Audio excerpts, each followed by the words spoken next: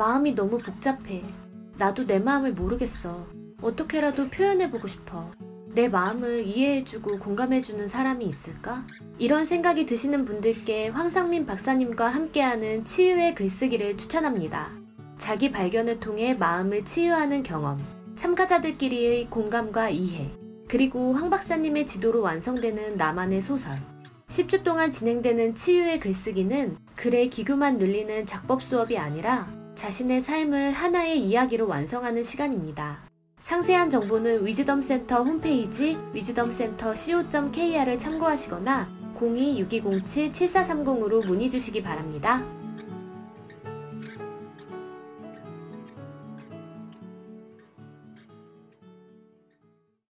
안녕하세요.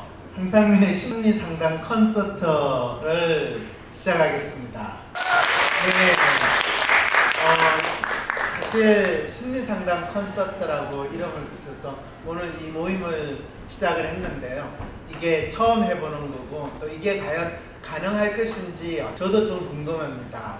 특히 이 장소는 합방에서 만들어진 아주 멋진 공개 콘서트 홀인데 어, 너무 좋은 장소인 것 같아요.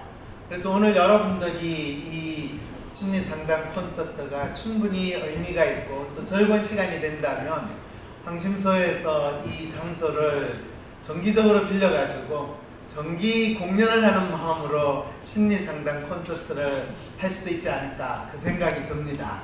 어, 제가 상담실에서 한 분하고 상담을 하는 내용이 진짜 마치 일반 가수가 혼자 노래 부르고 하는 그런 것들이 많은 사람들을 대상으로 무대에서 공연을 하는 그런 일이 벌어진다면 우리가 심리 상담이라는 것도 마치 무대 공연처럼 벌어졌을 때 어, 혼자서 노래 부르고 즐거워하는 그 기분이 그 공연을 바라보는 많은 사람들이 같이 공감할 수 있고 또 심지어는 내 혼자만이 가지고 있는 어떤 심리적인 아픔이나 또는 문제가 내가 상담을 받으면서 해결되는 그 경험이 마치 무대를 바라보는 또는 공연에 참여하는 많은 관객들에게 거의 비슷한 공감과 또 나름대로의 카타르시스 경험을 할 수 있지 않을까.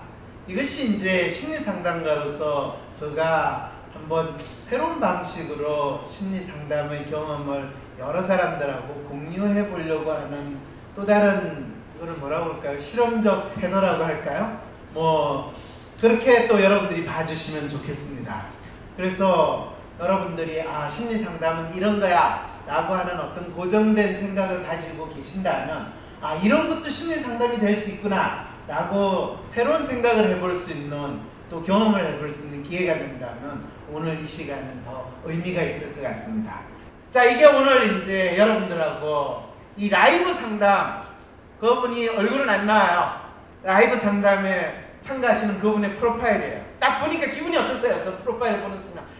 자기 평가와 타인 평가가 어긋날 수 있는 한 확실히 어긋나 있어요. 이건 내 마음 나도 몰라가 아니라 내 마음 나도 모르고 다른 사람도 내 마음 모르고 진짜 돌아버리고 싶어요. 그죠? 근데 그 사람이 idealist야. 여러분 idealist는 어떤 사람이에요? 네? 자기 중심적이다. 많은 분들이 idealist를 자기 중심적이라고 생각을 하시는 분들이 있는데 idealist가 자기 중심적이라면요. self가 상당히 받쳐주면요. 아주 멋지게 자기 중심적인 거요. self가 이렇게 갭이 있으면요. 이건 완전히 또라이면서 자기 딴에는 자기 중심적으로 사는데 실제로는 엄청 눈치를 많이 봐요. 그래서 무엇이 자기 자신인지 알 수조차 못하는 그런 모습을 보여요. 그런데 가장 아이디얼리스트의 특성은 자기가 뭔가 꿈꾸던 이상적이고 멋진 모습을 위해서 끊임없이 온갖 삽질이든 온갖 또라이 짓은 다 해볼 수 있는 게 아이디얼리스트예요. 근데 그게 현실하고 잘 맞으면 멋있게 살죠. 남들한테 다른 욕도 얻어먹지만 그래도 아쉬운 게 없어요. 근데 이분 진짜 전형적인 idealist예요. 그런데 그 idealist가 진짜 자기를 위해서 사느냐 하면 탈출와 릴레이션이 되게 높아요.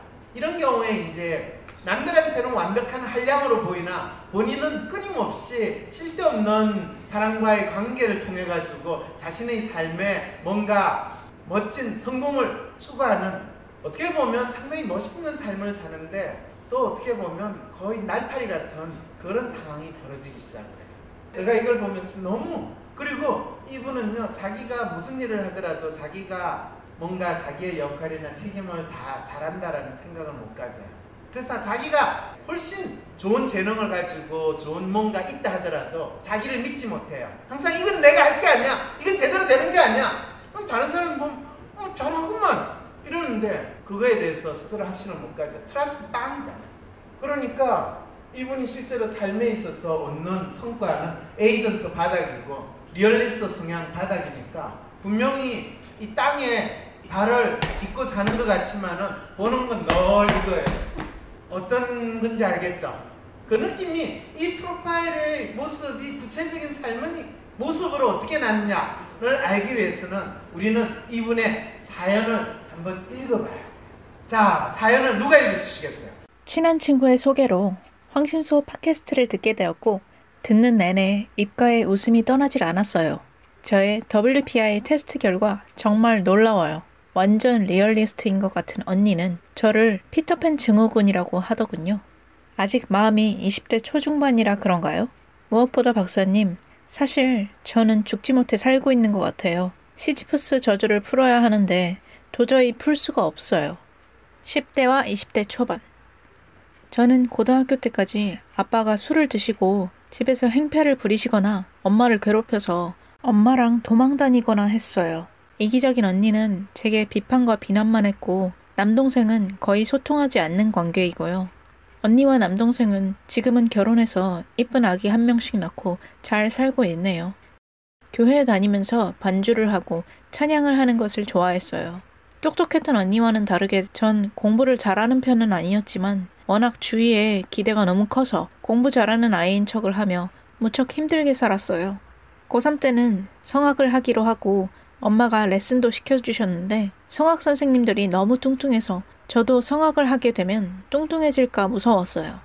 어찌저찌 서울에 있는 유명대학 연극영화과에 입학하게 되었어요. 독백을 하고 노래를 하고 춤을 추는 게 너무너무 행복했지만 그 과에 입학한 후 부자이고 이쁜 아이들 속에서 존재감이 0이 되었어요. 그러다 학교에서 추진한 단기 해외 연수 프로그램에 밤을 새서 준비하고 지원해 합격하여 미국을 가게 되었습니다. 영어를 한마디도 못했지만 아직도 미국의 아늑한 조명 아래 빛나던 캐러멜 코팅된 막대 사과들을 잊을 수가 없습니다. 네, 감사합니다. 지금 이 사연이 상당히 긴데 일단은 이 사연을 주신 분의 10대와 20대 초반까지의 스토리만 우리 가지고 이분의 심리를 조금씩 조금씩 우리 탐색해 들어가도록 합시다. 자, 이분이 지금 마음이 20대 초중반인데 실제 나이는 30대 후반이에요. 그러니까 지금 우리는 어떤 분의 40년 정도의 인생의 심리적인 탐색을 여러분은 저하고 같이 하게 되는 거예요. 자, 이분이 10대, 20대 초반에 본인의 어린 시절에 본인에 대해서 소개를 하는 건 여러분들이 어떤 느낌이 들어요? 이 사람은 상당히 자기 삶에 대해서 또는 자기에 대한 이해가 뚜렷한 것 같아요. 아무 생각 없는 것 같아요. 뭐 다 그렇지 뭐. 아니 중학교 고등학교 다니는 애가 무슨 생각이 있겠어. 그리고 아빠가 술 드시고 집에서 행패를 부리고 엄마를 괴롭히면 엄마랑 도망다니지. 그럼 아빠를 되돌고 싸워야 된단 말이야? 그런데 그 어린 시절에 많은 기억 중에서 아빠가 술을 드시고 집에서 행패를 부린다 라는 이 기억이 자기를 소개하는데 가장 먼저 나타난 이 심리는 뭘까요? 저희 어린 시절은 불행했어요. 제가 지금 제가 제대로 잘 살지 못하는 것은 다 아빠가 그렇게 안 좋은 환경을 만들었기 때문이에요. 라는 이야기를 하고 싶은 마음이 있을까요? 없을까요? 있다는 느낌 드세요? 네. 그런데 놀랍게도 똑같은 가족이 우리 언니와 동생은 지금 결혼하고 애 낳고 잘 살고 있어. 그래서 부모 탓으로 돌릴 수 없는데 왜 한 가족에서 망가지면 다 망가져야지 왜 저만 이렇게 살고 있나요? 그러니까 이제 언니의 또 멘트로 언니는 저보고 피터팬 신드롬이라고 이야기하니까 아마 저만 현실에 살지 않고 상상의 나라를 펴는 그런 사람인 것 같아요. 본인이 이제 아이디얼리스트 성향을 어린 시절에 보였다라는 거, 가족들도 다 인정한다는 것을 이 사연에 자연스럽게 알려지고 있는 거죠. 근데 참 재밌는 거는 이분이 똑똑했던 언니와는 다르게 전 공부를 잘하는 편은 아니었지만 워낙 주위에 기대가 커서 공부 잘하는 아이인 척을 하며 무척 힘들게 살았대요. 그건 뭘 뜻하는 걸까요? 공부 잘하는 아이인 척해도 사람들이 다 받아줬던 이유는 뭘까요? 성적이 잘 나오는 성적이 잘 나와서 성적이 잘 나오면 공부를 잘하는 거지. 성적이 잘 나오는데 공부 잘하는 척이라고 할 필요가 없죠. 조금 이쁘게 생겼다는 거예요. 이렇게 이야기하면 아니 저 인간이 지금 뭔 소리를 하는가? 아니에요. 재밌는 게요. 웬만큼 생긴 특히 똑똑한 언니가 있는데 웬만큼 생기면요 다 같이 묻어서 너도 공부를 잘할 거야 라고 생각을 해요. 그거를 어디서 확인을 했냐면요. 어찌어찌 해가지고 서울에 있는 유명대학 연극영화과에 입학했대요. 이거는 이분이 공부를 잘하든 못하든 기본 능력이 상당히 외모로서 된다는 이야기예요. 그리고 약간의 엉뚱한 끼가 있다라는 이야기. 근데 그 엉뚱한 끼가 항상 핀트가 어긋난다라는 것을 어디서 우리는 알 수 있느냐면요. 고3 때는 성악을 하기로 하고 엄마가 레슨도 시켜줬다는 거예요. 이 말은 뭐냐면 공부를 아주 잘하지는 않는다는 거예요. 보통 고3 때 예체능으로 전환하는 경우에는 어중간한데 웬만하면 좋은 대학 갈 수 있는 가장 마지막 수단이 이 방법이거든요. 그런데 레슨을 시켜줬으니까 웬만큼 뭐 발성이 되든 노래가 된다는 거예요. 조금 미술이라 됐으면 미술을 했을 텐데 성악을 했다는 건 노래 부른다든지 또 외모가 된다든지 했다는 거예요. 그런데 성악을 하면 뚱뚱해진다. 성악을 하면 뚱뚱해져요? 전혀 관계 없거든요. 예, 그런데 그런 놀라운 상상을 할 수 있는 상당히 자유분방한 사고력을 또 발휘했다라는 것도 알 수 있는 거죠. 이게 사실은 아이디얼리스트 성향이 벌써 어린 시절에 잘 드러났다는 거예요. 자, 그런데 연극영화과에 입학을 했어요. 그러면 여러분 벌써 알죠? 기본적으로 자기를 표현하는 끼도 있고 인물도 웬만큼 되는데 웬만큼 돼가지고는 연극영화과에 들어가면 그냥 웬만해지거나 웬만하지 못하는 상황이 되니까 본인이 부자이고 이쁜 아이들 속에서 존재감이 제로가 됐다. 그럼 본인 집이 아주 극빈자처는 아니지만 웬만큼 산다라는 그것도 우리는 벌써 알 수가 있는 거죠. 그런데 더 놀라운 거는 이분의 여기서 이제 특성이 나와요. 본인이 뭔가를 원해서 그거를 이루려고 하면 또 그거를 얻기도 해요. 그게 진짜 카라멜이 코팅된 막대 사과와 같은 너무나 멋있고 단맛이 아주 뚜렷하게 드러나는 뭔가가 되는 거예요. 그게 학교에서 보내주는 해외 연수 프로그램 이 마치 자기가 새로운 신세계를 발견할 것 같은 그런 느낌을 주는 거야. 밤을 새워서 준비를 했어요. 여러분 밤을 새서 뭔가 준비를 하면 다 합격하죠? 아니에요. 맞아요. 근데 이분 됐어. 이건 뭘 뜻하는 거예요? 본인이 간절히 원하고 열망을 가지면 적어도 기본 이상은 하는 능력이 있다는 이야기. 그런데 미국 가가지고 영어를 한마디도 못했지만 아직도 미국의 아늑한 조명 아래 빛나던 카라멜이 코팅된 막대 사과를 잊을 수가 없습니다. 이게 이분의 삶을 엄청나게 많이 알려주는. 그 20년이 지난 다음에 본인의 삶을 그리는 이 짧은 구절을 통해 가지고 저는 아 이분의 성인기 20년의 삶은 마치 조명 아래 빛나는 카라멜 사과와 같은 그런 삶을 지향하는데 여러분 혹시 조명 아래 조명에서 반짝반짝 빛나는 카라멜 사과 사과 위에다가 카라멜 그게 집어넣어 가지고 하면 초콜릿 카라멜 쫙 있으면요 그 미국의 뉴올리언즈나 또는 남부 지배에 가면 그 사과들 쫙 뒷내려놓고 밤에 그러면 너무 달콤하고 너무 이뻐 보여요. 이 중국 같은 데 가면요 밤에 야시장 가면 그런 거 파는데 그거 먹고 싶어 가지고 먹었다 다음 날 아침에 자기가 풍선이 되고 이빨이 거의 썩은 느낌을 받아요.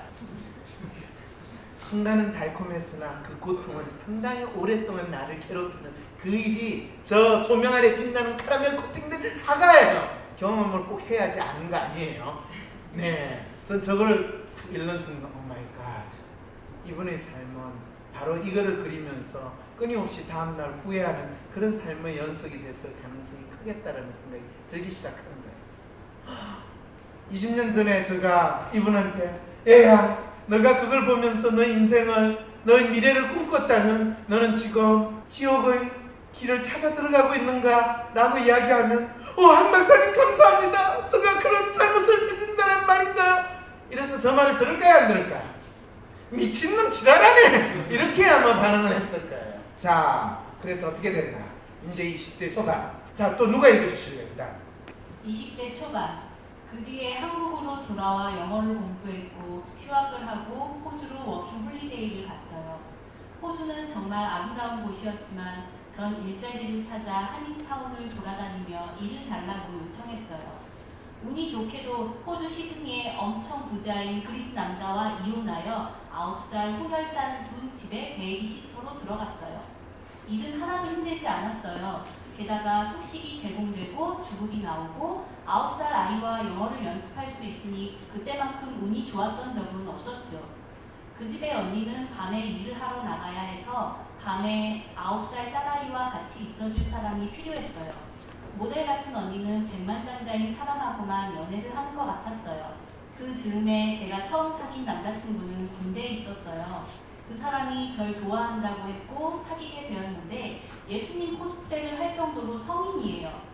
그냥 난 사람, 예술적으로 천재적이고 그림도 엄청 엄청 잘 그리고 제 눈엔 완전 엄친아였죠.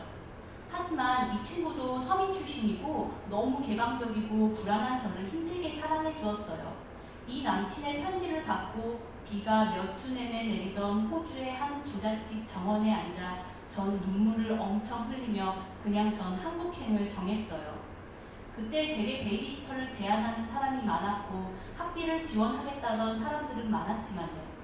그런데 웃긴 게 돌아와서는 이 남자를 그렇게 사랑하면서도 매일 재미없고 지루하다며 불평불만만 했어요. 호주의 그 이쁜 언니처럼 부자 남자를 만나야 할 것 같은 귀신에 사로잡혔죠. 한국에 돌아올 때는 그 언니처럼 평소에 입지 않는 노출이 심한 옷을 입기 시작했어요.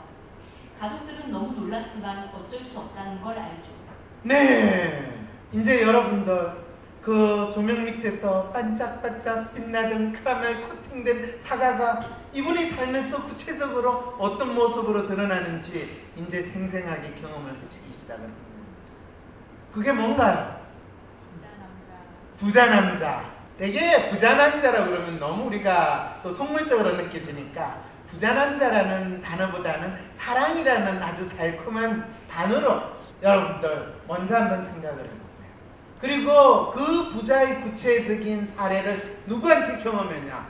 이 워킹 홀리데이를 가가지고 한인타운을 돌아다니면서 일을 달라고 요청했는데 엄청 부자인 그리스 남자와 이혼하여 9살 혼혈딸을 둔 집에 베이비시터로 들어갔다는 거예요. 숙식이 제공되고 주급이 나오고 9살 아이와 영어 연습을 할 수 있으니까 이거는 공짜로 영어도 연습하고 공짜로 숙식이 되고 부잣집에서 우와 대박이죠? 대박이에요. 그런데 이 대박이 어떻게 쪽박으로 바뀌는지. 아니면 나를 아침에 퉁퉁 부르트게 만들고 내 이빨을 썩게 만드는 코팅된 카라멜 사과가 되는지. 그때만큼 운이 좋았던 적이 없었지요. 네, 분명히 운이라고 생각할 수 있죠. 너무나 쉽게 나에게 다가온 행운입니다. 그 집의 언니 나는 저 언니처럼만 살면 좋겠어 라는 생각이 드는데 언니는 밤에 일을 해나고 밤에 아홉 살 딸아이와 같이 살 사람이 있고 모델 같은 언니는 백만장자인 사람하고만 연애를 해요.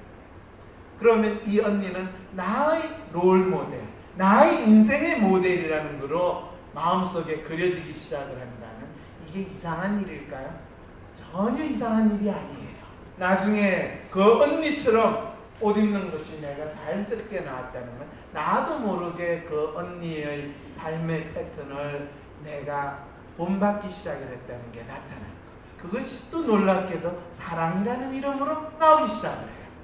그랬을 때 남자친구 처음 사귄 남자친구는 군대에 있었는데 이제 내가 워킹 홀리데이 끝날 무렵에 그 친구는 아마 군대에 나와서 누구야 어디에 있니 너가 보고 싶어 이런 상황이 됐겠죠. 그랬을 때 개방적이고 불안한 저를 힘들게 사랑해 줬어요. 엄친아가 이렇게 매력적이고 자유로운 영혼을 가진 여자친구가 얼마나 얼마나 한편으로 멋있고 사랑스럽고 한편으로 또 다른 세계에 있는 신기한 사람으로 느껴지겠어요. 그랬을 때 안타깝게도 이 친구는 서민 출신이고 그래서 저는 편지를 받고 비가 몇 주 내리는 호주의 한 부잣집 정원에 하나 눈물을 흘리며 눈물인지 빗물인지 저는 알 수가 없어요. 그렇지만 저는 한국행을 정했어요. 왜? 사랑이라는 마음으로. 너무나 아름다운 사랑의 이야기잖아요. 그죠? 그런데 놀랍게도 어떻게 됐어요? 이 남자를 그렇게 사랑하면서도 매일 정이 없고 지루하다면서 불평불만만 했어요. 뭐예요? 사랑은 잠시의 어떤 떨리는 순간일지 모르지만 대부분의 사랑은 참 지겹게도 지루한 건데 그렇잖아요. 우리가 카라멜 코팅된 사과를 씹어 먹을 때는 상당히 상당히 달콤함을 느낄 수 있지만 그 시간이 지나면요 찝찝함을 상당히 오랫동안 지켜야 돼요. 그거를 이분은 몰랐죠. 자 그런데 더 웃긴 거는요 이분이 한국을 갈 때 베이비시터를 제안하는 사람도 많았고 학비를 지원하겠다는 사람도 많았다는 거예요. 뭔 이야기예요? 자기를 필요로 하는 사람들이 많았고 자기는 상당히 있는 그 자체로 많은 사람들한테 인정을 받는 그런 놀라운 능력을 가진 사람이었다는 거예요. 만일 이때 이 사람이 계속 베이비시터를 하면서 대학을 졸업하고 본인이 원하는 것을 이루려고 했다면 이뤘을까요? 이루지 못했을까요? 이뤘을까죠 근데 이분이 뭘, 뭘 이루려고 했죠? 부잣집 만나서 연애하는 거, 그거를 이루려고 했죠? 네, 여기서부터 이제 너가 지금 살아가는 데 있어서 나름대로 너가 꿈꾸고 멋있게 살아가려고 하는 건 무엇을 통해서 그것이 이루어질 것인가? 라는 질문을 던지게 되는 거야. 보통 우리는 그러면 직업을 생각을 하거나 또는 뭐 직업 없이도 이 언니처럼 백만장자인 사람하고 연애만 하면 애 하나 키우고 또 위자를 받아가지고 잘 살 수도 있지 않아요? 라고 생각하는데 그거는 돈만 많으면 내 문제가 해결될 거라고 믿는 거하고 별로 다르지 않는 심리 상태예요. 그랬을 때 왜 제가 20대 초반이라고 이야기를 하냐면 우리의 삶에서 20대라는 시기는 내가 어떤 사람으로 살 것인가에 대해서 스스로 정해야 되고 스스로 만들어야 되는 시기인데 그 부분에서 우리가 사랑이라는 이름으로 내가 반짝반짝 빛나는 초콜릿 또는 캐러멜 코팅된 사과에 내가 환상을 가지는 그 상황이 벌어지면 나의 삶이 상당히 헷갈리되기 시작하는 상황이 벌어집니다. 그렇다고 해서 사랑을 쫓지 말라는 건 아니에요. 그 사랑은 무엇을 위한 사랑인가에 대해서 끊임없이 질문을 던져봐야 된다는 거죠. 그래서 그 언니처럼 부자 남자를 만나야 할 같은 귀신에 사로잡힌 게 아니에요. 불빛 밑에서 반짝반짝 빛나는 카라멜 코팅 사가 그것이 내 마음속에 떠나지 않았고 그것은 사랑하는 이름으로 그리고 그것은 곧 돈 많은 부자 남자라는 이름으로 내게 다가왔다라는 것을 본인 스스로 인식조차 못한 상황에서 이 시기를 보내게 됐다는 어, 이렇게 이야기를 하면 그 당사자가 이 자리에 앉아 있는데 속으로 저 엑센스가 지금 나를 뭐로 보는가? 나는 지금 화가 막 나고 있을지도 몰라요. 그럼 저한테 그거에 대해서 반박하는 질문을 막 적어 놓으세요. 요구했어도 돼요. 그 해석이 충분히 자기 마음을 잘 반영을 했는지 아니면 내가 인정하고 싶지 않고 보고 싶지 않은 내 마음을 그렇게 노골적으로 드러내는 팩폭을 알수 있나요? 저 잔인한 인간!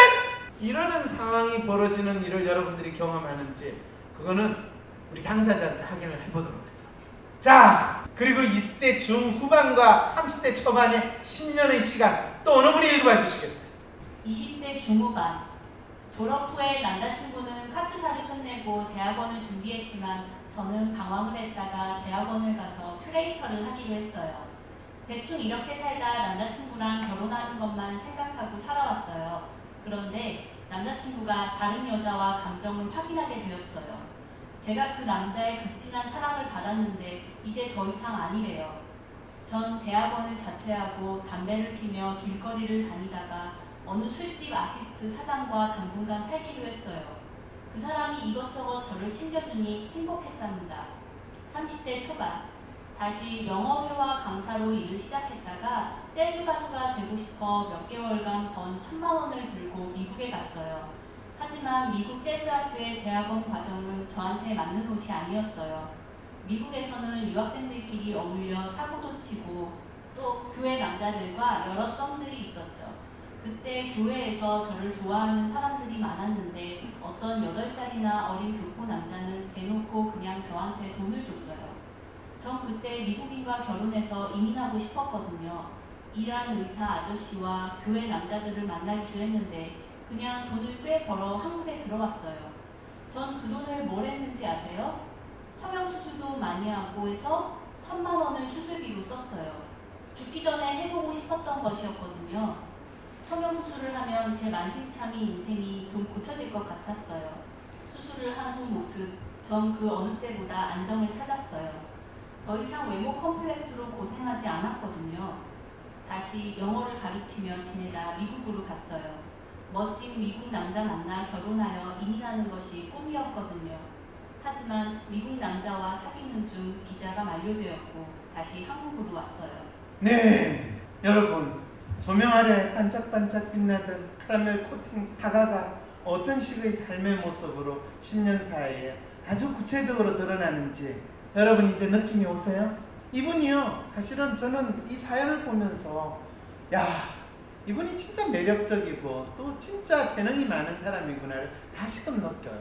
그렇지만은 본인이 그 매력과 재능을 자기가 어떻게 발휘하는가 그것이 아니라 누군가 어떤 남자가 나를 얼마나 사랑하는가 나를 얼마나 잘 대우해 주는가 그거에 인생을 맡기면서 끊임없이 그 빛나는 카라멜 코팅 사과는 조금씩 조금씩 덕지덕지 하는 모든 사람들이 탐을 내는 사과는 될 수 있지 모르겠지만 누구에게도 또는 본인 스스로에게도 진짜 맛있는 사과가 될 수 있을까라는 또는 대체 정체가 뭐야라는 삶으로 이제 조금씩 바뀌기 시작을 해요.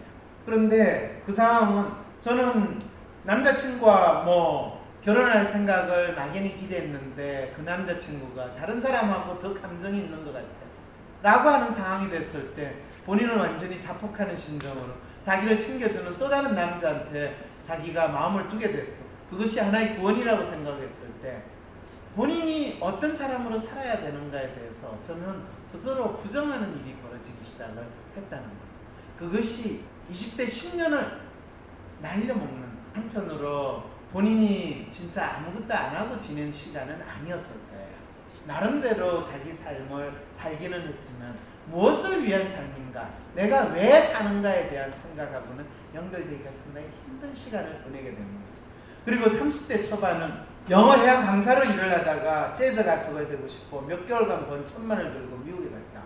그 사이에 뭐 대학도 졸업하고 또 나름대로 호주에 가서 영어도 공부하고 또 영어를 웬만큼 하니까 영어 해학 강사까지 할 정도면 이분이 기본적인 능력이 상당히 뛰어난 분이라는 거 여러분 아시겠죠? 그런데 재즈 학교 대학원 과정 갔다. 재즈 학교 이야기했으면 여러분들이 미국에서 대한민국 사람들이 재즈 학교 하면 가장 대표적으로 어느 학교? 딱 떠올리죠 그죠? 예, 도시 이름도 상상할 수 있을 거예요. 거기 가면 그 학교 사람들이 잘 가는 한인 교회도 있어요. 그리고 거기 가면 그 학교 다니는 학생들이 어떻게 서로 잘 지내는지도 알아요. 거기서 인기 있는 학생이었어요. 교회 남자들과 썸도 탔으니까 얼마나 나름대로 멋있는 사람인지 아시겠죠? 그런데 이분은 미국인과 결혼해서 미국에 살고 싶었어요. 한국에 돌아가고 싶지 않았어요. 그런데 다시 돌아왔어요. 네. 그리고 본인이 가진 문제를 뭐라고 생각했어요? 내가 충분히 잘생겼으면, 이뻤으면 미국에서 결혼하고 그냥 이민가 살 수 있을 텐데 그래서 번 돈을 가지고 성형수술을 했어요. 그래서 외모 컴플렉스에서 벗어났어요. 본인의 문제가 뭔지에 대해 정확히 알지 못한 채로 본인이 충분히 이쁨에도 불구하고 나는 더 이뻐야지만 내 문제가 해결된다고 스스로 정답을 정해놓고 그거에 대해서 그 컴플렉스는 해소가 됐대요. 그런데 다시 영어를 가르치다가 미국으로 갔어요. 그런데 본인이 그것이 얼마나 절실했는지 그냥 가면 되지 않을까 가다 보니까 비자가 만료돼서 다시 돌아왔어요. 아, 여러분 지금 이 사연을 듣고 여러분들이 상담을 하는 상황이라면 여러분 이분한테 어떤 이야기를 해주고 싶었어요? 의지가 약하다. 의지는 없고 감정만 있다. 근데 이분이 사실은 프로파일 보면요. 로맨틱 성향은 그렇게 높지 않아요. 이분의 감정은요. 본인이 그 감정이 뭔지를 정확하게 규명하지 못하는 데서 오는 심리적 혼란이 있지 어떤 정서적인 측면에서의 어떤 아주 열정이 아니에요. 자, 그 다음에 다시 읽어주실래요? 30대 초중반 한국에서 다시 영어를 가르치고 있는 건 너무 지루했고 작곡과 뮤지컬을 해야겠다는 생각을 떨칠 수가 없었어요. 분명 제가 뮤지컬 창법으로 노래를 부르면 저마다 잘한다고 칭찬을 아끼지 않았거든요. 또 춤을 출 때 가장 행복했으니까요. 뉴욕 대학교 뮤지컬 학과장에게 개인 레슨을 받았는데 재능은 있으나 목소리 훈련이 안 되었다고 합격에 부정적인 소식을 전했어요. 다시 한국에 와서 영어를 가르쳤죠. 도심 쪽방에서 50만원 월세를 내가며 일을 해봤자 돈을 모을 수 있는 수준은 아니었어요. 늘 술을 마시고 그랬어요. 로컬 신도시에 자리를 잡아 학원에 취직을 했지만 작은 학원에서 원장이 시키는 잡일을 하는 게 저랑 너무 맞지 않았어요. 어영부영 그 일을 2, 3년 정도 꾸준히 하면서 노래도 운동도 안 하고 인생에서 가장 지루한 시간을 보냈어요. 아무도 이쁘다고 해주지 않는 그런 삶을 살 때 백수 남자를 술집에서 만났어요. 그 사람은 모아놓은 돈으로 저를 잘 대해주겠다고 계속 공수표를 날렸죠. 하지만 그 남자가 직업을 구하지 않자 사귈 수 없다 선포하고 헤어집니다. 그런데 로컬 신도시에서 저에게 월급을 주는 학원들은 일제히 사라지기 시작했어요. 저 수준의 영어가 필요하지 않게 되었죠. 네. 이렇게, 이렇게 상황이 이제 계속 악화되기 시작을 합니다. 자, 결국 전 부모님 집으로 다시 들어가 매일 빈둥거리면서 지내다 다시 유명 어학원에서 일하게 되었어요. 하지만 월급은 과거의 반도 안 되고 나이도 어린 부장이 이래라 저래라 해요. 이제 그만두리라는 비장한 마음을 품고요. 이상하게 학원에 가면 어마어마하게 열정을 다해서 일을 하고 잡념을 버리고 살게 돼요. 저는 앞으로 뭘 해야 될까요? 자, 지금부터 이제 여러분하고 제가 이 사연을 보내주신 분, 어, 라이브 상담을 직접 하게 됩니다. 이 사연 보내주신 분 누구세요? 본인 지금 사연을 가지고 제가 설명을 하고 이야기를 하니까 본인 마음에 대해서 잘 나타낸 것 같으세요? 저를 그렇게 보시면 저한테 불만이 되게 많다는 느낌이 드는데 음, 일단 정리가 된 거는 네. 그 캐러멜 코팅 막대 사화에 뭐 환상을 쫓았다. 네, 그리고 현실에 발을 부딪히지 못한다. 네, 이런 거는 정말 이해가 가고 정말 힘들거든요. 그렇죠. 하지만 어떻게 벗어나야 될지를 솔직히 잘 모르겠어요. 어떻게 벗어나야 될지 모르겠다. 근데 지금 힘들거든요. 그럼요, 이상이 힘들죠. 너무 높고 그렇죠. 게을러서 뭘 안 해요. 게을러서 뭘 우울증에. 걸리는 줄 알았어요. 그렇죠. 진짜 아무것도 하기가 싫은데 그럼요. 그냥 그거에 만족하고 살면 되는데 만족할. 수가 없어요. 네. 만족하면 안 돼요. 본인이 그래서- 만족해서 사는 그 순간은 본인이 죽음과 마찬가지예요. 그럴 때는 본인은 죽거나 지금 이렇게 사는 차이가 없다 해가지고 본인이 인생을 그만 거둬요. 맞아요. 네. 본인은 지금 상황에서 만족하면 안 되는 거예요. 저 어떻게 살아야 되는 걸까요? 저하고 상담하는 거예요. 아니 이거 무슨 일인 것 같아서. 어, 재밌지 않아요? 본인이, 본인이 어떻게 살아야 될까요? 라고 하는 그 질문에 대한 답을 다른 사람한테 열심히 구하는 행동을 여기에서도 보여주고 계시는 거 아세요? 죄송해요. 제가 재밌으라고 한건 거예요. 아, 그래요? 잘하셨어요. 그런데 본인이 재밌으라고 한 거는 어, 본인한테는 재밌을지 몰라도 여기 있는 분들은 그걸 재밌다고 받아들이지 않는다는 큰 개입이 생긴다. 어, 본인이 그 사연에 그런 게 있잖아요. 내가 뮤지컬 노래를 부르면 많은 사람들이 본인이 노래 부르는 걸 잘한다고 그러던가요? 못한다고 그러던가요? 좀 잘한대요. 그렇죠. 네. 그런데 그 사람이 잘한다라는 걸 왜 잘한다고? 네, 본인이 진짜 잘해서 그러는 게 아니라 잘한다라고 이야기해 주는 게 그 상황에서 정답이거든요. 네. 놀랄 필요 없어요. 그게 당연한 거예요. 본인은 지금 본인이 듣고 싶은 이야기를 듣고 싶고 그 듣고 싶은 이야기가 진짜라고 믿고 싶었기 때문에 그 전등 불빛에서 반짝반짝 빛나는 카라멜 코팅된 그 사과가 본인의 상상과 환상과 본인의 꿈을 그대로 재현했다고 있는 그 마음이 본인이 살아가는 데 있어 경험하는 모든 그에 반복적으로 그대로 적용되고 있다는 것을 인정하고 알았다라고 하면서도 매일매일 경험하고 지금 이 순간에 경험하는 일에도 그대로 나타난다는 것을 본인이 생각하고 싶지는 않은 거예요. 어때요? 음. 그러면서 본인은 뭐라고 그러는지 알아요? 나는 어떻게 해야 될지를 모르겠어요. 우울해요. 무기력해요. 이거는요, idealist 사람들이 자기 문제를 자기가 아주 잘 알고 있다고 생각하면서 자기 문제를 인정하고 싶지 않을 때 가장 잘 사용하는 표현이 저가 힘이 없어요. 그리고 여기에서 벗어나고 싶어요. 그런데 벗어날 수가 없어요. 누가 나를 꺼내줬으면 좋겠어요. 저 문제가 뭐, 모르겠어요. 그거는 모르는 게 아니라 내 문제를 인정하고 싶지 않아요라는 절규가 되는 거죠. 그럼 박사님 WPI 그 분석 결과에 의해서 그 어떤 것들 좀 조정하면 제 인생이 나아지거나 아니면 좀 현실적으로 문제를 풀 수가 있어요? 제 네, 아주 중요한 질문이에요. 오르락 내리락 뭐 WPI 프로파일이 뭐 엘리베이터인 줄 알아요? 올랐다 내렸다 하게? WPI 프로파일은요. 그 사람의 마음을 상징적으로 보여주는 프로파일이지 그 프로파일 자체가 문제를 알려주지 않아요. 문제는 본인이 문제라고 생각하는 것이 WPI 프로파일로 어떻게 반영되어 있는가를 이해한다면 조금 알게 되는데 재밌게도 이 사연을 주신 분은요. 자기 문제가 뭔지에 대해서 일단은 정확하게 알려고 하지 않는 놀라운 심리 상태를 보이고 있어요.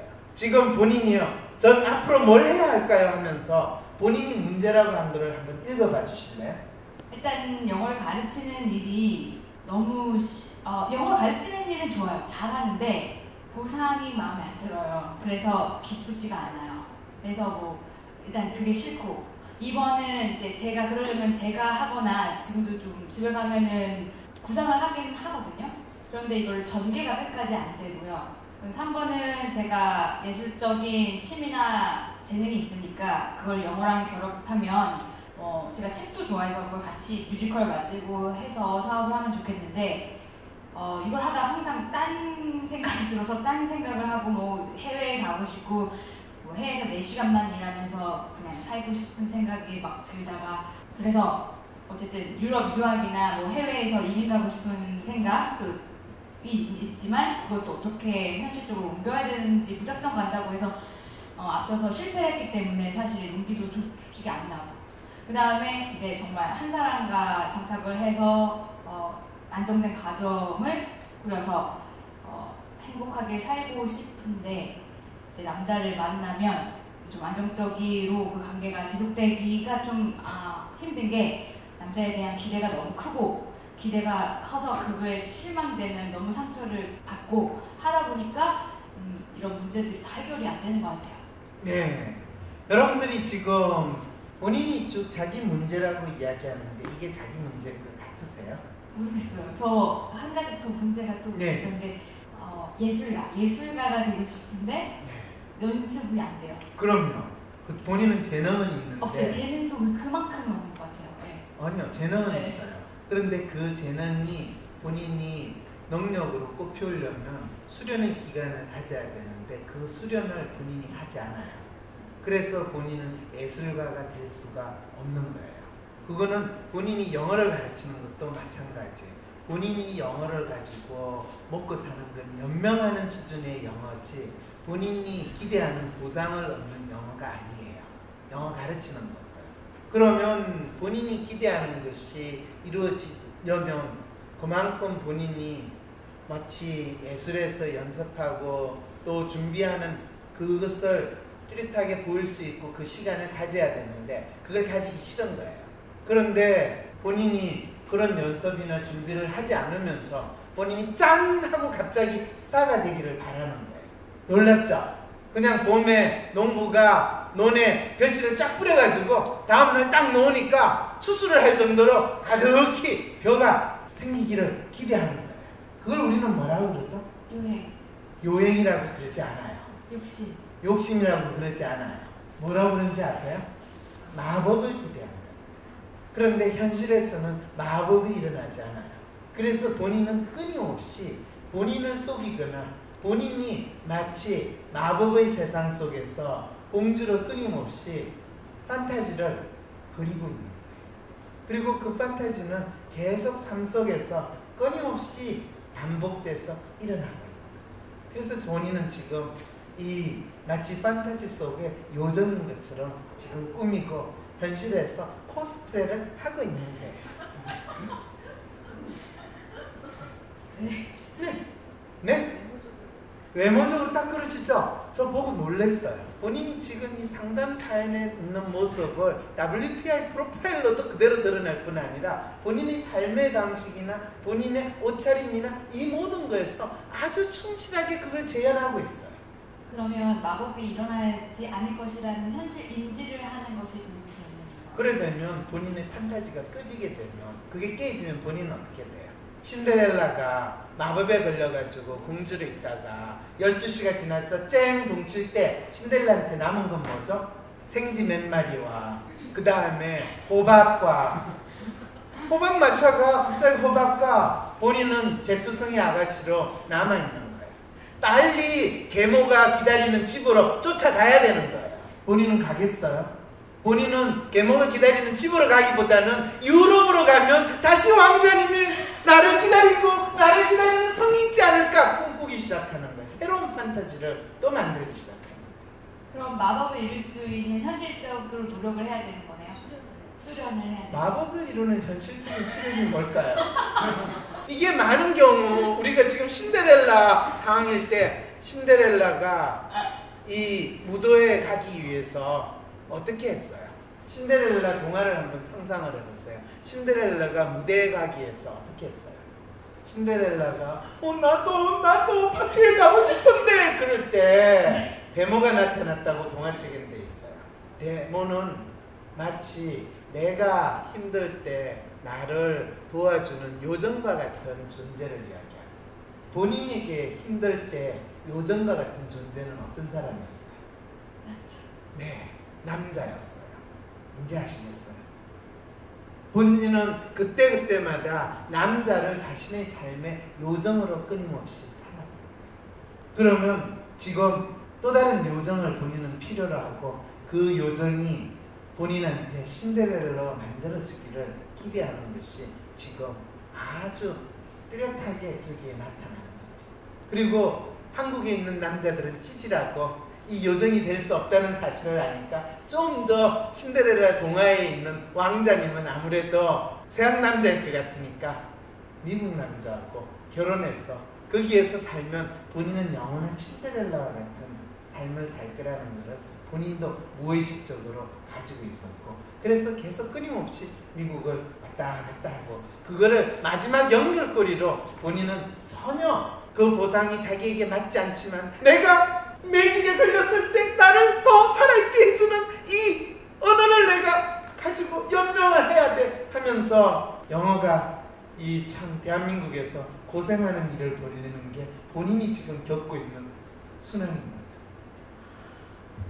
되게 상징과 비유가 놀랍도록 가슴에 이렇게 음 이렇게 쨍 하는 게 있는데 앞으로 앞으로 현실적으로 그럼 나는 어떻게 뭘 뭐 이런 걸 잘 모르겠어요.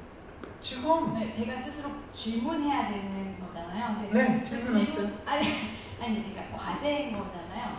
무슨 과제요? 사실 지금 진짜 어 네, 신경 끄기 기술이라는 책을 좀 얼마 전에 읽었는데 어 신경 끄기 기술을 익히면 본인이 잡신경을 다 끄고 잘 살 수 있을 거라는 기대를 했죠. 네, 너무 많이 해서 그걸 네. 봤는데 자기 문제를 진단하지 못하고 제대로 알지 못하면요. 그때 그때 눈에 띄는 책을 읽으면서 본인이 답을 찾았다고 착각하는 아주 전형적인 모습을 지금 보이고 있다는 거 아시죠? 자존감 연서 뭐 이런 책을 읽으면 내가 자존감이 올라갈 거라고 생각하고 신경 끄는 기술 이러면 내가 장신경 끄고 잘 살 거라고 믿는 아니 이제 거기서 가장 중요한 건 몇 가지만 추리라고 하고 그걸 신경 쓰고 살아라 이런 메시지가 좀 있었거든요. 이게 전형적인 아이디얼리스트가 자기가 어떤 사람인지를 알지 못하고 리얼리스트의 퀵팁을 자기가 받아들이면 현실적으로 잘 살고 또 잘 살 수 있을 거라고 믿는 마음을 드러내는 아주 구체적인 사례를 여러분들은 지금 듣고 계십니다. 그런데 거기서 제가 추린 모든 것들이 저의 삶을 행복하게 해주는 저의 진정한 고민과 저의 진정한 문제를 잘 못 찾고 헤매듯이 찾는 것이 또 삽질일 것 같다는 생각이 네, 들어요. 삽질이에요. 그래서 전혀 추릴 필요가 없는 걸 추리셨어요. 네, 제가 맞거든요. 현실적으로 맨날 뭐 철학이라든가 이런 거를 현실 즉흥적으로 그냥 봐서 마음이 위로가 되는 것들을 받아들이고 되게 단기적으로 위로를 본인의- 문제가 뭔지 모르고 본인의 고통의 정체가 모르는 채로 무작정 진통제만 열심히 맞는 거하고 똑같은 일이에요. 그럼 본인이 하고 있는 혹시 저의 문제가 뭡니까?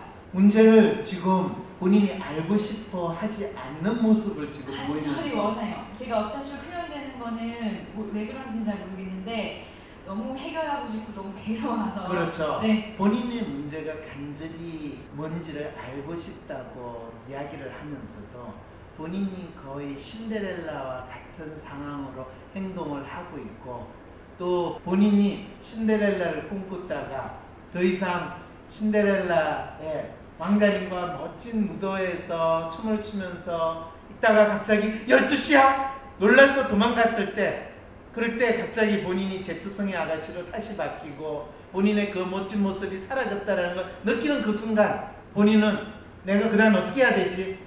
라고 했을 때 어떻게 했어요? 아무것도 안 같아요. 아무것도 안 했다는 건 본인이 뭘 뜻하느냐 하면요. 그래, 내가 이제 집에 가서 기다리면 또 왕자님이 내가 놔놓고 간 구두를 들고 올 거야. 라고 생각하고 지냈다는 것이죠.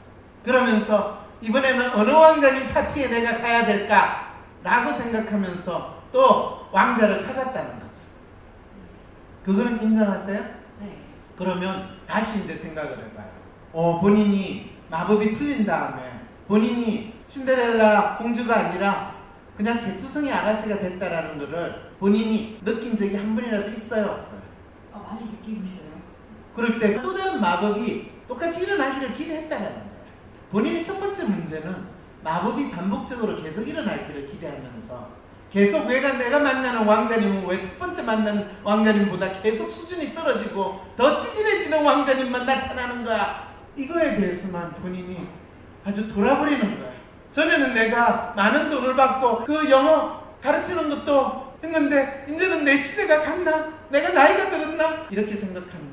전에는 요정이 나타나서 호박 마차를 만들어줬는데 전에는 호박마차가 상당히 멋있었는데 이제는 왜 호박마차도 다 쭈그러지는 호박마차만 있는가? 말도 왜 이렇게 미실미실한 말이 되는가? 이것만 계속 지금 이야기하는 거예요. 매번 일어나는 마법이 왜 이렇게 찌질해지기만 하는가? 라는 식으로 본인 문제를 보려고 하지. 이상하다. 내가 왜 이 마법에서 빠져나오지를 못하는 거지? 라는 질문은 던지지 않아. 왜 마법의 약팔이 이렇게 계속 약해지기만 하는가? 그게 저의 문제예요. 이거는 문제를 제대로 아는 게 아니에요. 알려고 하는 마음도 아니에요. 왜? 마법은 계속 일어나야 된다는 그 전제 속에서 일어나는 거예요. 이 본인이 지금 전 앞으로 뭘 해야 될까요? 하면서 1, 2, 3 다 마법이 일어나기를 바라는 이야기합니다. 본인은 저 모든 옵션은 본인이 할 일이 아니에요. 저거는 저 옵션을 본인이 선택하고 살아가는 갈수록 본인은 이제는 급속도로 더 빠른 속도로 본인이 지금까지 10년, 15년, 20년 겪어왔던 그 추락의 단계를 더 빨리 들어가요. 박사님 혹시 어떻게 해야 되는? 지금 내가 어떻게 해야 되는 거에 대한 문제를 이야기하고 있나요? 본인의 문제가 무엇인가요? 라는 질문을 계속 던지고? 본인의 문제가 무엇인가? 그렇죠. 그럴 때는 본인은 이런 질문을 해요. 박사님, 그럼 저희 문제가 무엇인가요? 라고 물어야지. 제가 어떻게 해야 되느냐? 라는 질문을 던지면 안 된다는 거죠. 이걸 다 하면 안 된다고 해서 난 뭘 해야 되나? 그거 질문 자체가 잘못됐다는 거잖아요. 문제 파악 전에는 그죠? 네, 이럴 때 이분이 대화를 이해를 하는 부분에 있어서 상당히 자기 중심적으로 생각하는 게 강하다라는 거는 느끼져죠. 이거는 이분이 아주 그만큼 본인이 믿고 있는 마법에서 벗어나고 싶지 않다라는 거예요. 이 마법 자체, 자기가 마치 마법에 걸린 상태를 인정하고 싶지 않다라는 거예요. 스스로 본인이 어떤 마법에 걸렸는지 혹시 이야기해 볼 수 있겠어요? 좀 환상 속에 사는 것 같아요. 환상 속에 네. 산다. 그 환상은 어떤 환상일까요? 노력하지 않아도 이루어지는. 노력하지 않아도 이루어진다라는 환상 속에 산다라고 생각을 하면 그거는 정확하게 자기 문제를 본 게 아니에요. 왜냐하면 노력을 하면 잘 된다라는 그 가정에서 이루어졌어요. 박근혜 씨가 대통령이 된 건 뭐 노력을 해서 된 거예요? 아니에요. 최순실이 있어서 된 거예요. 아버지가 대통령이었고 그 아버지가 대통령이기 때문에 그 딸을 대통령을 시키는 대통령을 잘할 거라고 믿었던 그 마법에 걸린 국민들이 있었기 때문에 대통령이 됐던 거예요. 본인이 꼭 마법을 유지하려면 본인이 노력할 필요가 없어요. 본인이 어떤 남자가 계속 마법에 걸린 상태로 본인을 계속 잘 챙겨주고 본인이 원하는 걸 해주면 됐는데 본인은 그 남자한테서 무엇을 원했어요? 사실은 그 처음에 만났던 남자 헤어진 되게 트라우마였던 것 같아서 저는 그 문제 때문에 제가 저런 편력이 있었나 이런 생각이 들었거든요. 네, 전혀 아니에요. 인생 제일 슬펐던 사건이 그거예요. 그렇죠. 왜 인생에서 제일 슬펐을까요? 음, 버리, 버려, 버려졌습니까? 아니죠. 본인이 왜 버려졌는가에 대해서 본인의 마법의 약발이 왜 약해졌는가에 대해서 본인이 몰랐기 때문이죠. 그게 무슨 말인지 이해가 안 되세요? 네. 네. 어, 본인은 자기 문제가 정확히 뭔지를 알고 싶지 않은 상태로 그 20년을 보냈어요. 그리고 본인은 끊임없이 그거에 대해서 스스로 자기가 믿고 싶은 이유에 몰입해서 지냈고 그것이 시간이 지나면서 계속 반복적으로 일어나는 상황이 되는 것도 본인은 보려고 하지 않았어요. 그리고 본인은 거기에서 계속 신데렐라와 같은 마법이 자기에게 반복적으로 일어나고 지금도 사실은 그 마법에서 빠지지 않는 심리 상태에서 내하고 지금 상담을 하고 있어요. 그래서 한편으로 본인이 내가 이야기하는 게 공감을 하면서도 한편으로 계속 내한테 그래. 저 마법을 풀어주세요. 풀어주세요. 그래요. 그런데 놀라우거든요. 그러면 내가 당신의 마법을 풀어주면 당신이 어떤 상태가 되는지 아세요? 라고 물어보면 그건 모르겠어요. 그냥 신데렐라로 계속 유지될 수 있는 그 상태로 마법을 풀어주세요. 라는 마음으로 어떻게 해야 될까요? 저는 무엇을 해야 될까요? 이런 질문을 저한테 던지고 있는 거예요. 본인이 마법에서 풀리게 된다는 건 뭘, 어떤 걸 뜻하는지 아세요? 고생 무슨 고생이요? 치열하게 사는 거 치열하게 사는 그리고 건데 의존하지 않는 거 뭐냐. 치열하게 살지 않고 네. 의존하지 않는 거 네. 본인이 살면서 치열하게 살면서 의존하지 않는 삶이라는 게 구체적으로 어떻게 사는 거예요? 우선 제 스스로 뭔가를 열심히 해서 성취를 한번 해보고 싶어요 본인이 20년 동안 스스로 열심히 해서 성취한 일은 어디에서 있었어요? 다 없는 것 같아요 그럼 20년 동안 안 했던 거를 1년 내내 할수 있다는 건 그건 마법의 현실이에요. 본인은 지금 마법의 상태와 현실의 상태도 구분이 안 되면서 또 지금까지 막연히 바라는 것 또는 지금까지 거부했던 뭔가가 일어나면 그것이 현실이라고 착각을 하는 그 상황이 지금 거예요. 본인이 스스로 지금 답을 엉뚱하게 세워놓고 그걸 그러면 내가 마법 속에서 멋진 남자를 만나서 그 남자 속하고 잘 지내면 그건 마법인데 그거는 이제 내가 나이도 들고 내가 만난 남자는 계속 찌질하니까 그거는 이루어지지 않으니까 그 반대로 내가 열심히 노력해가지고 열심히 일을 해서 뭔가를 이루기만 하면 그것이 나의 현실의 삶이 아닙니까? 이렇게 또 다른 정답을 만들어 놓고 또 그렇게 살아야 되는 거예요? 라고 확인을 저한테 한다면 안타깝게도 두 가지 모두가 하나는 흑마법이고 하나는 백마법이지 둘 다 당신에게는 마법입니다. 라는 이야기를 거죠. 근데 사실 좀 좋은 짝이라고 생각하시는 분을 만나고 교제를 하고 있는데요 네. 그분한테는 이제 제가 했던 과거의 실수들이 있잖아요. 그런 것들을 좀 안 하면서 잘 지켜서 결혼도 하고 가정을 꾸리면 좀 제 현실 속에 좀 잘 살 수 있지 않을까 제가 애기들이 되게 좋아하거든요. 좀. 네. 그래서 그런 것도 방법이 되지 않을까 생각이 들었어요. 네, 본인이 벌써 답을 정해놨죠. 아니. 제3의 마법을 해가지고 어떤 남자한테 흑마법을 부려가지고 이제 내가 더 이상 요정이 아니고 평범한 여자로서 그 남자에게 되면 좋겠다. 그런데 그 남자는 흑마법을 부렸기 때문에 이미 그 남자는 인간이 된 요정을 바라는 게 아니라 흑마법에 걸린 요정을 아마 바랄 거예요. 안타깝게도. 그러면 저 진짜 답답한 것 같아요. 뭐가 답답해요? 다 해결이 없잖아요. 뭐를 원하는데요? 저는 또 뭐라고 하실지 모르겠지만 진정으로 날씨가 따뜻한 나라에 가서 4시간만 일을 하고 그냥 조금 먹고 이렇게 살고 싶거든요. 그건 이룰 수 있나요? 이제 마법에 걸린 사람의 심리 상태는 어떤 상태인지 여러분들 이해가 되시죠?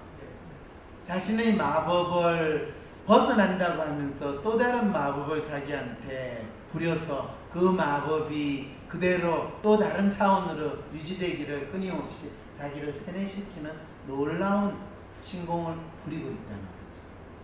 본인이 그 마법을 벗어나려면요.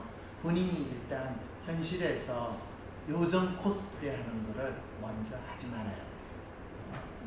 그게 무슨 말인지 이해가 돼요? 본인이 이해되는 걸 한번 이야기해 보세요. 구체적으로 본인이 요정 코스프레를 안 한다라는 건 무슨 말일까요? 근데 저한테는 그게 현실을 사는 것 이렇게 들리거든요. 그래서 남자들한테 기대도 뭐 이렇게 하지 말고 뭐 이렇게 근데 어, 마지막에 제가 진정으로 바라는 걸 말씀드렸는데 우리 박사님께서 저 제가 그것도 마법에 걸린 거라고 하고 모든 분들이 동의를 하시는 거예요. 그런 느낌은 받으셨어요? 너무 받고 있어요. 어 그래요? 근데 네, 저는 네. 진정으로 하고 싶은 게 진정을 하고 싶은데, 그건데, 네. 어 그게 무슨 요정 코스프레라고 하니까 그게 아닌 거를 아 그거 요정 프레, 코스프레 안 할 수 있는 방법이 있어요. 뭐예요? 내일 당장 공항에 가서 비행기표 타고 유럽으로 가면 돼요. 본인 여권은 있을 거 아니에요. 네. 유럽으로 가면 돼요. 왜요? 비자 없이 적어도 3개월 내지 6개월 지낼 수 있는 데로 가요. 그럼 현실을 받아들이게 되는 거예요? 아니죠. 그러면요? 본인의 이 마법을 실현시키는 거죠. 와 와! 그건 더 이상 코스프레가 아니라 현실로 만드는 거예요. 실현시키는 거예요. 그래서 저는 노래를 부르고 돌아다니고 싶어요. 네, 그거를 유럽에 가면 집시라고 그래요. 그래서 본인은 동양에서 온 집시로 유럽에서 자기의 정체성을 만들 수 있는 거죠. 정확하게 그게 본인이 지금 가장 잘할 수 있고 본인이 상대적인 우위와 희소성과 차별성을 가질 수 있는 아이디얼리스트로서의 완벽한 새로운 삶을 만들 수 있는 거예요. 그러면 한 1년 내지 2년이 되면 한국의 신문에서 아 한국 사람으로서 집시 유랑 극단에서 이렇게 사는 사람이 있습니다라고 스토리가 나오고 세계로 뻗어나는 자랑스러운 한국인으로 아마 나올 수 있을 거예요. 근데 이 남자를 지금 좋아하고 있는데? 그럼 그 남자는 아마 집시를 찾아서 유럽으로 달려올 거예요. 항상 동화 속에는 이 사랑하는 예인을 찾아서 또는 공주를 찾아서 또 숲속에 들어가서 용을 처치하는 왕자가 있는데 그렇게 오면 그 사람은 알고 봤더니 뭐 거지 왕자인데 진짜 왕자가 되는 그 만들어지는 거예요. 그래서 본인은 드디어 이야기를 만들게 되고 그걸 뮤지컬로 해가지고 새로운 또 스토리를 전 세계에 알리게. 새로운 창작 뮤지컬이 거죠. 내가 이게 웃자고 하는 이야기 같아요? 본인의 마법에 동참해 주는. 본인이 현실에서 본인이 삶을 살아간다고 할 때 재밌게도요. 그것이 본인이 실제로 일어나는 일로 만들 수 있다는 거예요. 여러분들 재밌게도 한 20년 전에요. 이거는 실제로 일어났던 거예요. 여러분들이 지금 생각하면 20년 전에 한국에서 어떤 남자가 있었어요. 20대 초반의 남자가 우연히 기사를 보다가 미스 블랑스에 대한 기사를 보게 되고 그 사진을 딱 보는 순간 아 이 사람은 하늘이 점지해준 나의 짝이다라고 생각을 했어요. 그래서 그 미스 블랑스와 자기는 결혼을 하겠다고 생각을 한 거예요. 그래서 이 남자는 그그 미스 블란스를 만나야 되겠다는 일념으로 비행기 싹을 모았어요. 그리고 그 당시에는 외국 여행 가는 것도 그렇게 쉬운 때도 아니었는데 블란스로 갔어요. 그래서 미스 블란스를 만나자고 했어요. 만나줬을까요? 안 만나줬을까요?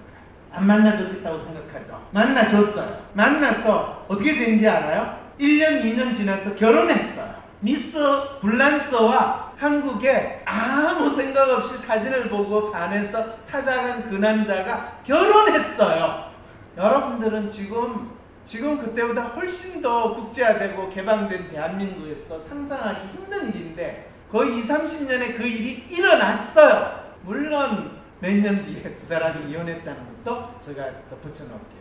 그런데 그 당시에 제가 미국에서 심리학을 공부하고 있을 때 그 스토리를 처음에 들었을 때 인간이 보일 수 있는 이 마법과 같은 것이 현실에서 어느 정도 일어날 수 있을까? 저 나름대로 처음에 블란스로 갔다라는 그 기사를 우연히 잡지에서 접할 때 너무 신기했어요. 어떻게 이게 가능할 수 있을까? 그런데 그 남자는 뭐라고 자기를 생각했냐 하면 자기는 화성 남자, 여자는 금성 여자 이렇게 생각을 했고 그래서 우리는 우주적인 기운에 의해서 맺어진 커플이야 라고 이야기를 했는데 그것이 그 아가씨한테 먹혔나 봐요.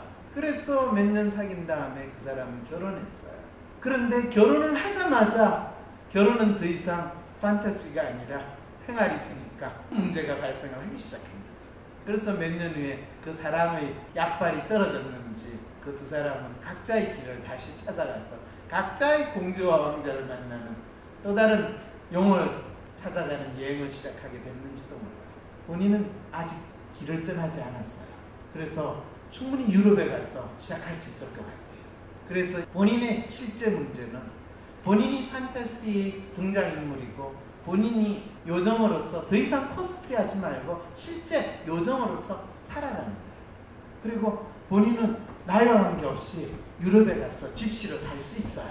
본인은 아이가 있는 것도 아니잖아요. 본인 혼자만 근사하면 되잖아요. 본인이 원하는 게 하루에 4시간만 일하고 즐겁게 노래 부르고 행복하게 살고 싶으면 그것이 정확하게 집시의 라이프 스타일이거든요. 그리고 본인은 지금 그렇게 하면 동양에서 온 집시니까 얼마나 차별성 있겠어요. 본인이 거기서 이스마일다처럼 아마 새로운 요정으로 인정받고 지낼 거예요. 근데 유럽에 집시에 그럼 군락이 없는 걸로 알고 있는데. 집시 단체는 많아요. 지금 60만에서 100만 이상이에요. 본인이 가가지고 이 광장에서 노래 부르면요 나타나요. 걱정하지 말아요. 네. 본인이 미국에 있어도 교회만 가도 본인한테 돈 주는 남자도 나타나고 이 남자도 남자 다 나타난다고 했잖아. 그게 본인의 능력이 잘 발휘되고 있는데 왜 그걸 부정해요? 그게 사실은 지금 이 내담자분이 부정하는 건요. 본인이 어떤 정체성을 가지고 살아갈 것인가라는 부분에서 항상 서로 상반되는 두 가지 정체성을 만들어 놓는 거예요. idealist 성향의 사람들은요, 내가 대한민국에 있는 어, 나름대로 멋지고 또 나름대로 성공하고 또 현실적으로 인정받는 사람으로 살아가는 그 정체성과 또 내 나름대로 마법에 걸린 것 같고 요정과 같은 존재로 살아가는 이 두 가지에서 끊임없이 때때로 그것이 호주가 될 수도 있고 미국이 될 수도 있고 또는 동양이 될 수도 있고 서양이 될 수 있는 각기 다른 환경 속에서 자기 나름대로 정체성을 바꾸는 그런 역할놀이를 끊임없이 하면서 지난 20년을 보냈던 거예요. 그럴 때 나는 어떤 존재인가, 무엇이 나를 나답게 만드는가는 스스로 보지 않고 내가 뭘 하면 그게 내가 되는 건가요? 라는 질문을 던지는 거예요. 그러면서 내가 한국말을 쓰는 것이 영어를 하는 것이 어느 쪽이 내가 되는 건가요?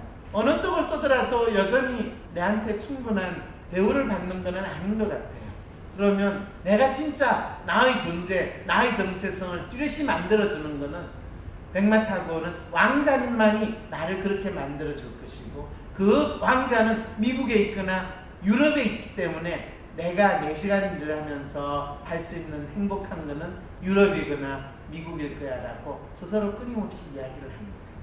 그걸 우리는 대충 뭐라고 하냐면 자신을 소설 속의 주인공으로 만드는 그런 모습을 보이는 겁니다. 라고 이야기해요. 그 소설 속의 주인공이 누군지 아세요? 네. 제대로 살고 싶어요. 도와주세요. 이야기를 계속해요. 그렇지만 자기가 현재 어떤 사람인지를 보려고 하지 않아요. 왜? 이미 답은 소설 속의 주인공으로 정해져 있거든요. 어떤 소설인지 아세요? 50가지의 그림자, Fifty Shadows of Grey라는 책, 여러분 소설책 혹시 아세요? 50가지의 그림자. 이 영화는 3부작 소설을 원작으로 해가지고 나오는데 이번에 세 번째 영화가 곧 나온대요. 이 영화는 평범하고 순수한 보통의 여대생인데 졸업을 앞둔 여대생이에요. 우연히 친구 대신해가지고 백만장자 젊은 사회가 그레이를 만나러 가는 인터뷰를 하는 장면으로부터 소설이 시작돼요. 근데 본인은 그 남자한테 그 남자가 너무나 핸섬하고 너무나 젊은데 자기하고 나이 차이도 대여 살밖에 안 나는데 엄청나게 놀라운 큰 회사의 회장이라는 사실을 알고 오늘 그 사람 누군지도 모르는데 친구 대신에 학교 신문에 인터뷰하는 그로 대타로 가가지고 인터뷰를 하는데 그 사람이 자기한테 너무 잘해주는 거야. 어, 너 졸업하면 우리 회사에서 인턴 프로그램 있는데 어때? 뭐, 첫 만남에 그런 이야기를 하니까 너무 놀라는 거야.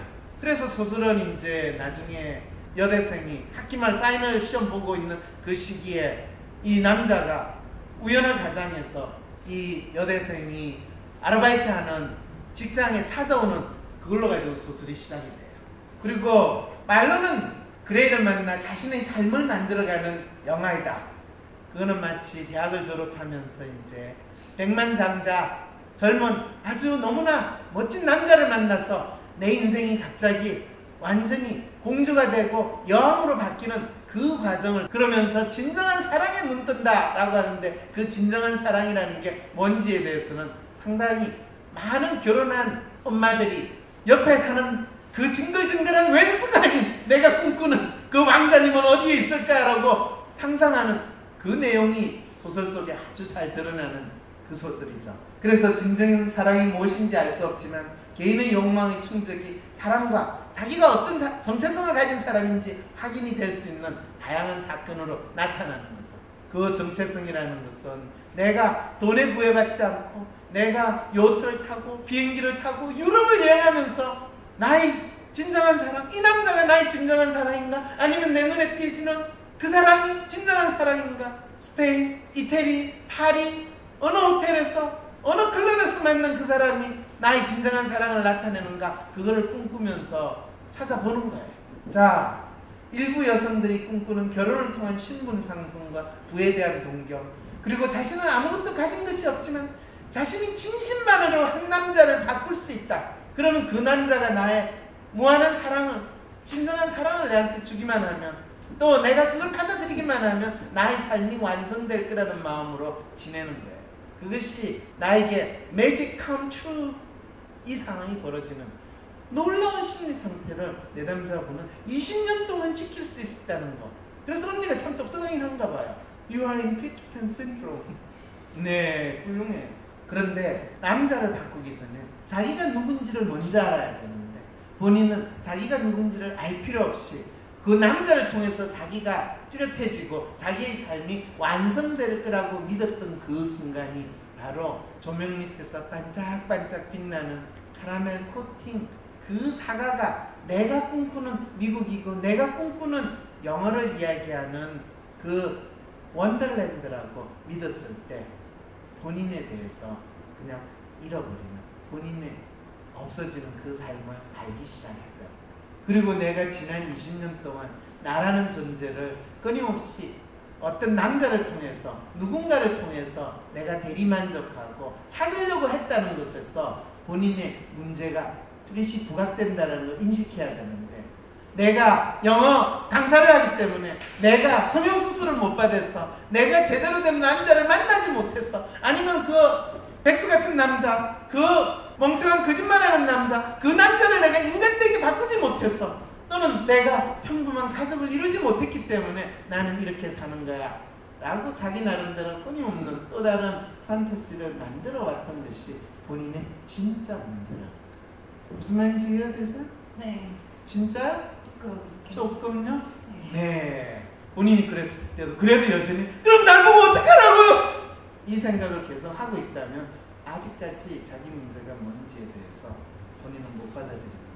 그럴 때 헛된 믿음이 소설 속에 잘 드러나 있다라고 제가 표현해요. 본질적으로 자신을 알지 못하는 사람이 자신의 미약한 몸으로 타인과 세상을 바꿀 수 있으며 또 자신의 삶이 나아질 것 같다는 소망의 표현이다.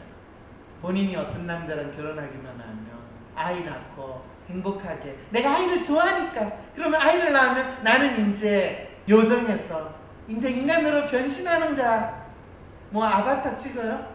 아니에요 아니에요 요정은 요정으로 사는 게 필요해요 본인이 요정으로 살고 싶으면 빨리 유럽으로 가서 하루에 4시간 일하고 행복하게 살고 싶으면 히피의 라이프 스타일을 택하기만 거예요 힘들게 하루에 10시간씩 막노동, 중노동, 저질노동에 시달릴 필요가 없어요. 노동을 할 필요가 없어요. 노래를 부르기만 해요. 그러면 히피가 노래를 부르면 아마 돈을 던져줄 거예요. 근데 한국 사람들은 인사동에서 노래 불러도 돈 안 던져줘요. 네. 그 차이가 있어요. 막연한 소망은 한 여자의 일생을 매우 위험하게 합니다. 본인은 그 위험한 일생을 지난 20년 동안 너무너무 잘 보여줬어요. 그건 본인도 아시죠? 지금 그게 가장 큰 문제라고 생각을 못했는데 얘기를 듣고 나니까 와닿는 게 있어요. 뭐가 와닿아요? 음, 저 문제요. 어떤 문제? 헛된 믿음. 헛된 남자. 믿음. 남자. 남자가 자기의 인생을 구원해 줄 거라는 네. 믿음. 네. 그거는 지금 본인이 한 거에 대해서 본인이 항상 후회하고 거부하고 부정했지만 저 믿음은 20년 동안 상당히 강하게 유지하고 있다는 거 아시죠? 네. 이제 아시겠죠? 네. 본인의 진짜 문제가 뭔지. 네. 이제 아시겠어요? 뭐죠? 본인의 진짜 문제가? 헛된 믿음을 남자를 통해서 품꿨던 거. 남자를 통해서 구원 받으라고 생각했던 건 헛된 믿음이라는 것을 알게 됐다라는 거. 네. 네. 그럴 때 우리가 마치 뭐 신을 바라는 남자를 통해서 내가 구원받을 거라는 믿음이나 크게 다르지 않아요. 그래서 오 하느님 할 때 그 하나님은 항상 남자를 상징하는 것처럼 우리가 되는 것도 그런 자연스러운 인간의 마음이 반영됐다라고 이야기하면 또 이 신의 남성성을 주장하는 종교인들이 저를 죽이겠다고 나서겠죠. 네. 거기서 본인의 답은요 자기 찾기라고 얘기해요. 자기 찾기란 자신이 왜 태어났는지 왜 살아가는가에 대한 자신의 답을 가지는. 그거를 내 삶의 목적과 존재의 이유를 찾는 것이 이 사회에서 우리가 살아남을 수 있는 비법이라고 제가 이야기를 해요. 그럴 때 다시 질문을 던져요. 나는 어떤 사람이고 현재 어떤 삶을 살고 있는가? 여러분들 지금 거의 1시간 반 내지 2시간 동안 이루어지는 이 심리 상담 콘서트 어떠셨어요? 어, 당사자를 앞에 놓고 이렇게 잔인하게 이 팩트 폭격을 하면서 폭력이 아니라 이건 폭격을 하면서 그 사람의 어떤 마음을 읽어내고 그 사람의 문제에 대해서 정확하게 공감하고 공유할 수 있다는 것이 상당히 여러분에게 충격적으로 다가왔나요? 아니면 이것이 아 상담이라는 것이 단순히 위로하고 위안하는 것이 아니라 위로와 위안을 넘어서서 진정한 삶의 문제가 무엇인가를 직면하고 거기에 대한 답을 스스로 스스로 분명하게 느끼게 되고 더 이상 끊임없이 자기의 문제를 마법으로서 회피하고 또 그것을 외면하지 않게 되고 자기를 있는 그대로 받아들이게 되는 그런 어쩌면 새로운 차원의 자기 변신의 기회라는 것을 여러분들이 느끼신다면 이 심리 상담 콘서트는 상당히 다른 차원의 심리적 경험 또는 심리를 안다는 것, 나의 마음을 안다는 것이 나의 삶에 있어 어떤 새로운 변화의 계기가 된다는 것을 여러분들과 공유할 수 있는 좋은 계기가 되지 않을까 싶어요. 오늘 본인의 사연을 가지고 이렇게 용기 있게 공유해 주시고 또 본인이 어쩌면 뼛속 같은 어쩌면 엉뚱한 공간에 태어난 실수로 진짜 오저의 마법사처럼 폭풍 후에 엉뚱한 곳에 떨어진 도로시아 같은 마음으로 지금 본인이 살고 있다는 거 그 느낌까지 드세요? 네. 네 본인은 그런 것 같아요 캔사스의 그 토네이도 이 토네이도에서 지금 한국 서울에서 떨어져 살고 있는 본인은 도로시였던 거예요. 그랬을 때 저 심장은 어디에 있어요? 저에게 용기를 주세요. 이런 깡통 로봇과 사자와 함께 자기를 찾아가는 여행을 본인은 지금부터 해야 되는 것이 본인이 직면하고 있는 가장 큰 문제라는 거예요. 더 이상 거기에는 먹고 사는 문제를 가지고 이야기할 필요가 없어요. 남자를 이야기할 필요가 없어요. 본인 주위에는 깡통 로봇, 그 다음에 허수아비, 그 다음에 사자, 또 누가 있나요? 네, 그걸 꼭 한번 생각해 보세요. 그런 친구들과 함께 본인은 내가 어디에서 살아야 될까? 어떻게 살아야 될까? 나는 누구인가를 찾아나가는 그 여행을 지금부터 떠나야 돼. 네, 감사합니다. 자, 여러분 어떠셨어요? 뭐 한 5분 내지 10분 정도 여러분들 소감이나 듣고 끝내도록 할까요? 뭐 이야기가 나누시고 싶으신 분 마이크 드릴게요. 손 들어주세요. 네, 저는 그 마법을 어떻게 풀 것인가가 되게 궁금했었는데 네, 결국은 그 마법을 찾아서 현실화 시켜라라는 말이 굉장히 크게 들렸고 네, 굉장히 좀 감동이 됐어요. 네. 마법을 꼭 풀 필요가 없어요. 마법을 원하는 사람은 그 마법 속에서 사는 것이 우리의 삶이에요. 항상 우리가 착각하는 건요. 꿈에서 깨어나오라고 하는데 꿈속이 더 좋으면 꿈에서 계속 사는 게 좋지 왜 깨어나요? 그게 idealist만 그런 거예요? 다른 그렇게 아, 진짜 훌륭한 질문이에요. idealist한테 잘 먹히는 방법이에요. 어, 리얼리스트는요, 그거는 고통이에요. 그런데 리얼리스트는 현실의 고통을 잊기 위해서 끊임없이 꿈을 가져라, 더 큰 꿈을 가져라, 이런 마법을 자기한테 끊임없이 주입을 해요. 자기도 믿지 않는 마법. 이게 이제 idealist가 자기 문제를 해결하는 방법과 리얼리스트가 자기 문제를 해결하는 방법이 완전히 다르죠. 여러분들이 혹시 어릴 때 꿈을 꿀 때 이 벼랑에서 떨어지는 절벽에서 떨어지는 그런 꿈을 꾸는 경우 있죠. 벼랑에서 떨어지는 꿈을 꿀때 어, 이게 꿈인가? 진짜 떨어지는 건가? 이런 걸 느끼는 분도 있을 테고 너무 놀래가지고 아! 그러면서 깨는 분도 있어요. 진짜예요. 그럴 때 idealist는요.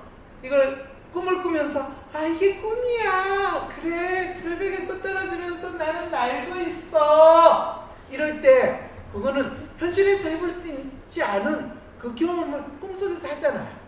그 꿈을 즐기는 거는 현실에서 할 수 없는 거를 즐길 수 있는 얼마나 좋은 기회예요. 그럴 때는 누군가가 내 꿈을 깨지 않는 게 훨씬 내가 행복하게 사는 방법이에요.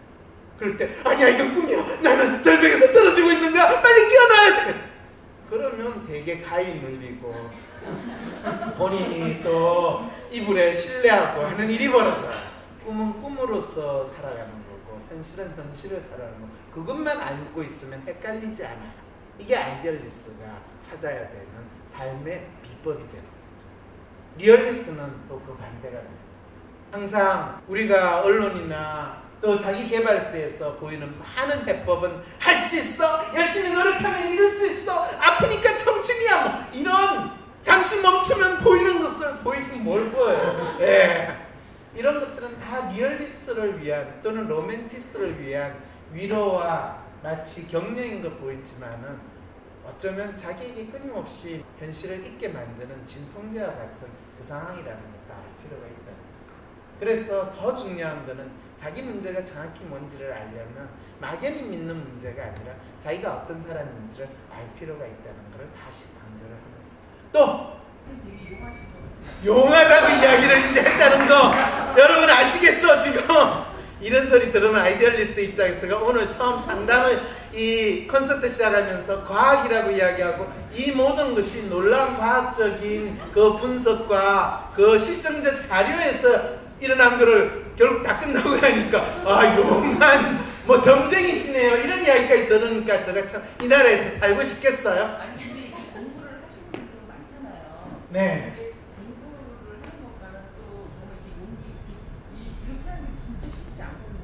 그렇죠. 그렇죠. 네. 많이 받았어요. 네. 네. 하고 싶었어요? 네. 네, 열심히 공부하셔서 하시면 돼요. 계속 이 심리 콘서트에 나오셔가지고 여러분들이 많이 배우시다 보면 언젠가 여러분들이 저 대신에 이 마이크 잡고 하실 수 있으실 거예요. 그날이 올 때까지 심리 콘서트 계속 이루어질 수 있도록 많이 참여해 주시기 바랍니다. 감사합니다. 3월 30일 금요일 오후 7시부터 9시까지 서울에서 황상민의 상담 콘서트를 합니다. 상담 콘서트에서 셜록 황도 보고 나를 알고 남을 이해하고 그동안의 짜증과 고통에서 해방되는 시간이 될 것입니다. 또한 상담 흐름에 대해 공부도 하고 상담 중 셜록 황의 질문에 대한 답도 해보실 수 있습니다. 상담이 끝나면 간단한 질문을 할 시간이 있습니다. 모든 순간 셜록항의 놀라운 통찰력을 경험해보세요. 황심소의 후원이 되는 참가비는 1인당 7만원입니다. 꼭 입금 후 신청지를 작성해주세요. 신청지 링크는 팟빵 공지와 네이버 카페에 있으며 자세한 사항은 신청지 링크를 통해 확인하실 수 있습니다.